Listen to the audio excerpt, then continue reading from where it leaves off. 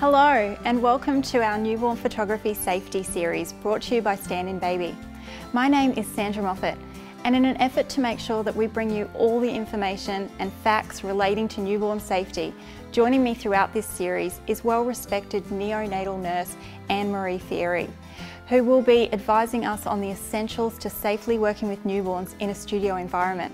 In this tutorial, we're going to talk about safety issues with newborn photography. But before we start, I'd like to say that if you are unsure about anything you hear during this series, please seek advice from a medical practitioner near you and get the answers that you need.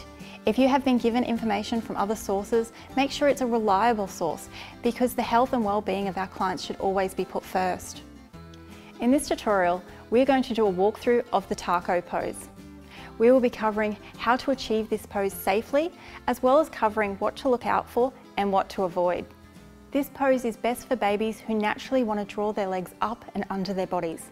But again, it is not a pose that every baby can do, and definitely not one I would do with babies who have unstable hips.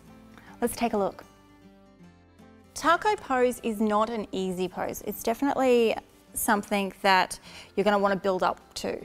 If you were just starting out, I would definitely be starting with the side and back poses.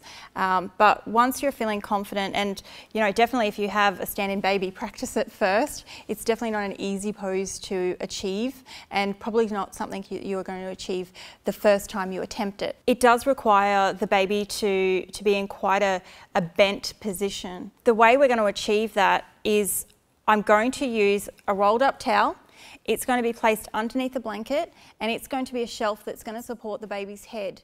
The reason why we need that is because